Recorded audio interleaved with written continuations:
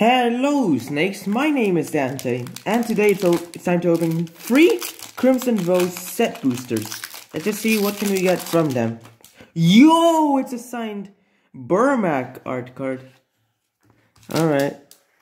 Plains, Heron of Hope, Heron Blessed Geist, Neville Nebelgast Beguiler, Supernatural Rescue, Edgar's Awakening, Sanguine Statuette, Soulcipher Board, Voltaic Visionary, Oh, a showcase Falkenrath celebrants.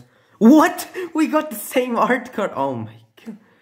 Wow. And a foil Kessig Flamebreather. let's go, let's go. We got Karametra, God of Harvests, as the list card. Nice. Wow. Well, that was cool. Alright. Oh, Edgar's Coffin or something. Ireland. Spore Crawler. Mulch.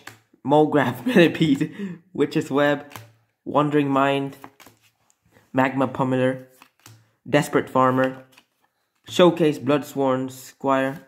Yo, what? We got a commander, Strefan, Maurer progenitor.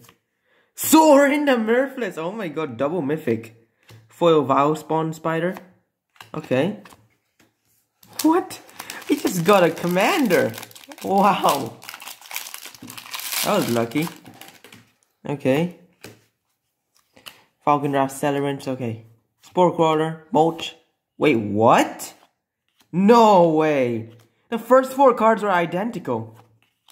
Retrieve. Yeah, to the previous one, Crawling Infestation. Catapult Fodder. Belligerent Guest in Showcase. Welcoming Vampire. Ooh, Foil Belligerent Guest. And Will-o'-the-Wisp Wisp list card. Thanks for watching. Hope you enjoyed it and bye.